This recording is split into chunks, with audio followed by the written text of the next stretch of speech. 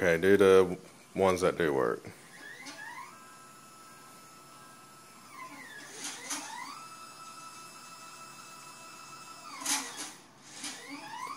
Alright, now this one will work. Up until you get to keep going till it up until it gets to right there then it doesn't work. And the other one other direction doesn't work either. So it just works going in this direction that direction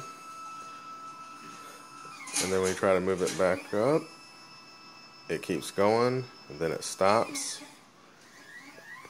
the other direction still doesn't go. But just to show you, the gears are working. The band on the inside, if you can see it, is slowly rotating.